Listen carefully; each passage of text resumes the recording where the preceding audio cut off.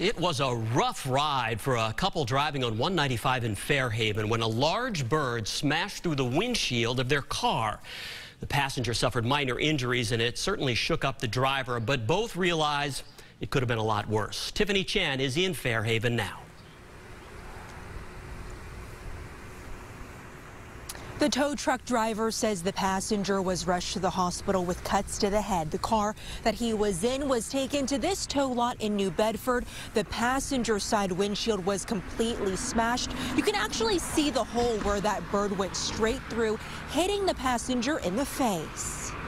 Wild right through. Terrifying moments for a husband and wife driving through Route 195 in Fairhaven when a large bird smashed through their windshield, smacking the passenger in the face. It was a full turkey that went through the vehicle and ended up in the back seat. Frank Hand took this video as he prepared to tow the Chevy Traverse away. Shards of glass and feathers litter the interior. Hitting him in the face and then the glass and stuff like that. Just the sheer weight of the turkey causes some damage. The passenger was rushed to the hospital with cuts to the head. The driver, well, she was shocked to say the least. She was definitely stunned, visibly shaken. She had blood on her, whether it be from the turkey or from her husband. Telling by the condition of the car, Frank says the couple's lucky they weren't more seriously injured. It's definitely an interesting call for sure.